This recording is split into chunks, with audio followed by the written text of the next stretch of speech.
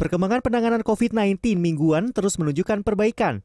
Kasus mingguan menurun dari 188.323 menjadi 125.102 kasus per 22 Agustus 2021.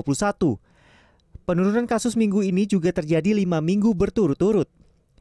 Juru bicara penanganan COVID-19 Wiku Adhisa Smito mengatakan, meskipun terjadi penurunan pada orang yang diperiksa, namun jumlah saat ini masih lebih tinggi dibandingkan sebelum terjadi lonjakan. Selisih kasus mingguan per tanggal 22 Agustus dan 15 Agustus 33 provinsi menunjukkan penurunan jumlah kasus. Jawa Tengah menjadi provinsi paling banyak mengalami penurunan kasus sedangkan Aceh paling banyak mengalami kenaikan kasus.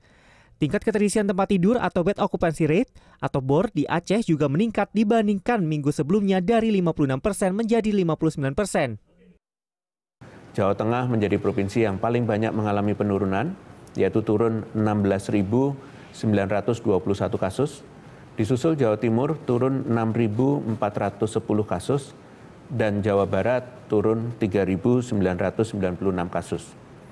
Hanya ada satu provinsi yang masih mengalami kenaikan kasus mingguan, yaitu Aceh yang naik 429 kasus dibandingkan minggu sebelumnya dengan masih tidak stabilnya kasus COVID-19 di Indonesia, diharapkan masyarakat tetap menaati protokol kesehatan dan selalu menjaga jarak agar mengurangi penularan virus corona.